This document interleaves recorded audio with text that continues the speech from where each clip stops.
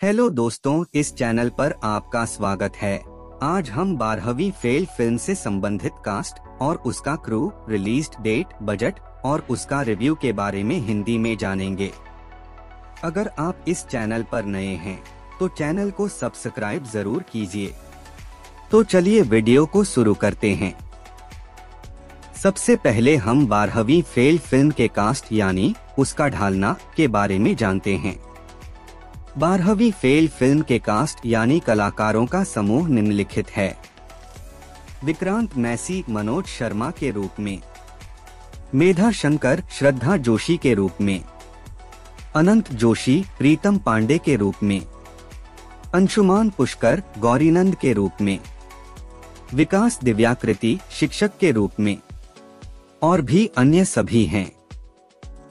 बारहवीं fail film का crew यानी कर्मी दल निम्नलिखित हैं। डायरेक्टर यानी निर्देशक विधु विनोद चोपड़ा। रिटन बाय यानी द्वारा लिखित विधु विनोद चोपड़ा और जसकुंबर कोहली के द्वारा।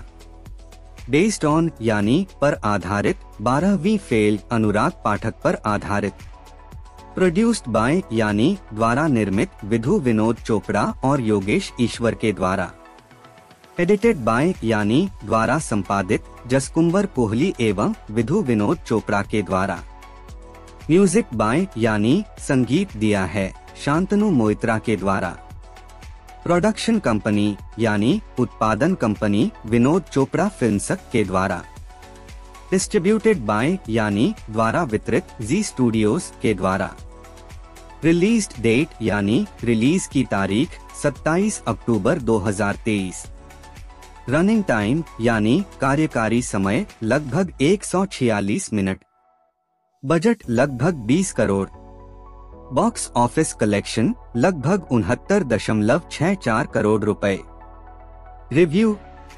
अनुराग पाठक के इसी नाम के बेस्ट सेलिंग उपन्यास पर आधारित बारहवीं फेल, चंबल के एक छोटे से शहर से आने वाले एक आईपीएस अधिकारी, मनोज कुमार शर्मा, की सच्ची कहानी को दर्शाती है। जिसने निडरता से अपनी शैक्षणिक यात्रा को फिर से शुरू करने और एक ऐसी जगह पर अपने भाग्य को पुनः प्राप्त करने के विचार को अपनाया, जहाँ लाखों छात्र दुनिया की सबसे कठिन प्रतियोगी परीक्षा यूपीएससी के लिए प्रयास करते हैं।